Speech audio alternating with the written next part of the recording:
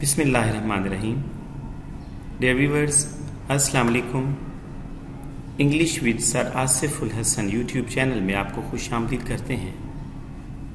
Dear students आज हम unit number eight class ninth की इंग्लिश की समरी है stopping by woods on a snowy evening इसकी समरी के साथ हाजिर हुए हैं। उम्मीद करता हूँ आपके लिए नहायत ही फ्रूटफुल साबित होगी तो बिस्मिल्लाह करते हैं जी। Summary stopping by woods on a snow evening stopping by woods जंगल में कयाम ऑन अ स्नो इवनिंग बर्फबारी की एक शाम। बर्फबारी की एक शाम, जंगल में कयाम। सबसे पहले मैंने कोटेशन दी है जी।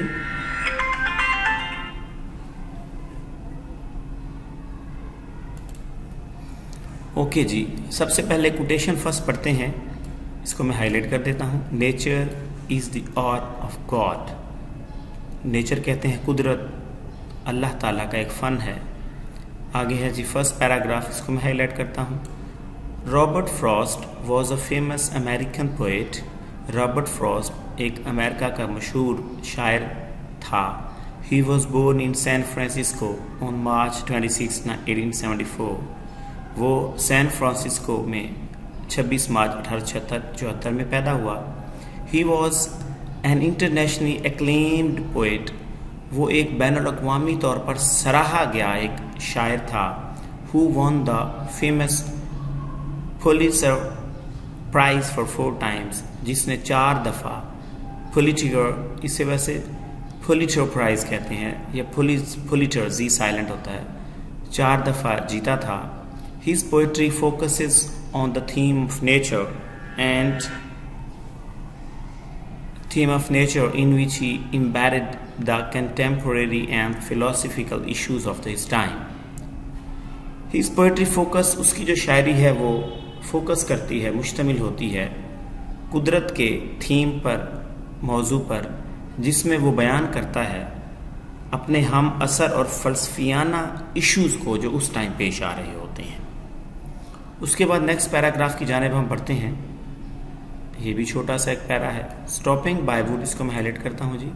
Stopping by woods on a snowy evening is a very beautiful and symbolic poem written by Robert Frost बर्फबारी की एक शाम, जंगल में कयाम, एक खूबसूरत और सिम्बोलिक का मतलब अलामती नज़म है जो कि रॉबर्ट फ्रॉस्ट ने लिखी।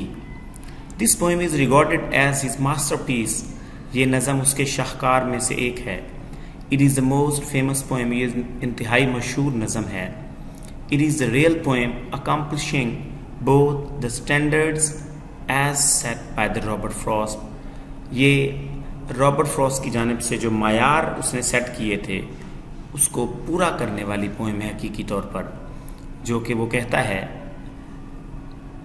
a poem begins in delight and ends in wisdom एक नज़म जो खुशी में शुरू होती है और अक्लमंदी पे ख़त्म होती है। ये सेकंड कोटेशन थी। उसके बाद हम पढ़ते हैं जनाब नेक्स्ट पैराग्राफ की तरफ़। नेक्स्ट पैराग्राफ को भी मैं हाईलाइट कर देता हूँ जी। यहाँ तक करते हैं, बाकी बाद में करेंगे।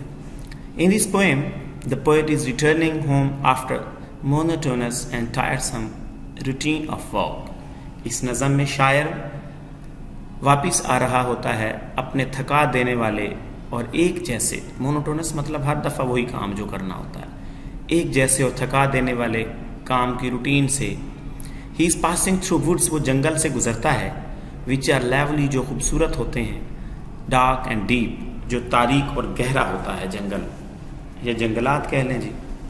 The nature the natural enchanting and awesome beauty कुदरती दिलफरेब और ख़ूबसूरत इंतहाई खूबसूरत जो खूबसूरती है, जंगलात की या जंगल की compels to stop his horse to enjoy it वो उसको और उसके घोड़े को रोक देता है वहाँ पे, ताकि वो उसकी लुत्फ उठाए, उसकी खूबसूरती से।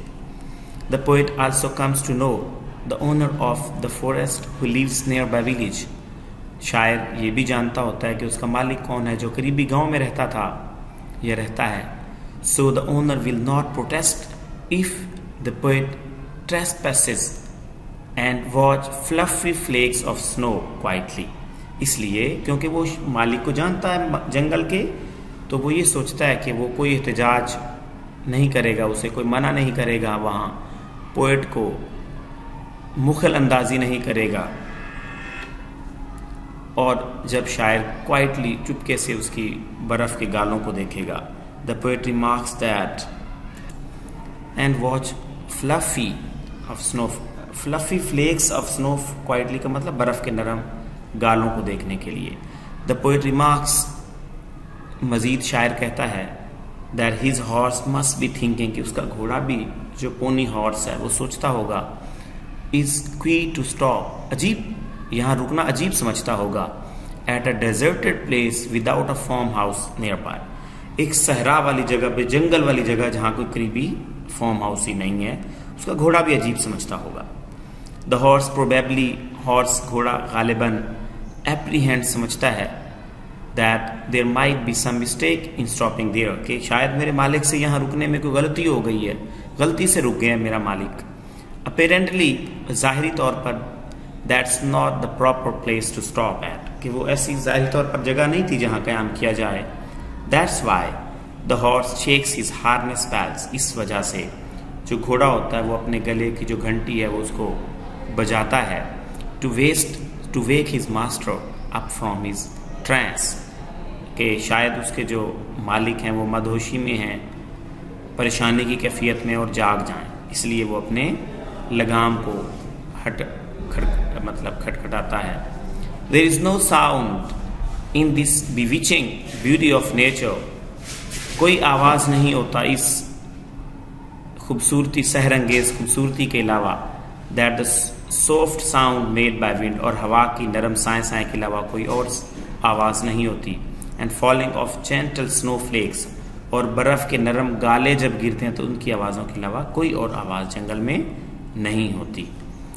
नेक्स्ट पैराग्राफ इसी, यही पैराग्राफ का हिस्सा, इसको मैं हाईलाइट करता हूँ। ऑन दिस पॉइंट इस वक्त, इस जगह पर feelings emotions and provocations of nature allure him into the realm of imaginative beauty इस वक्त की इस घड़ी में जज्बात एहसास और इश्तियाल अंगेजियाँ कुदरत की इश्तियाल अंगेजियाँ उसे रागब करती हैं कि वो उस तखयलाना खूबसूरती के दायरा कार में आए।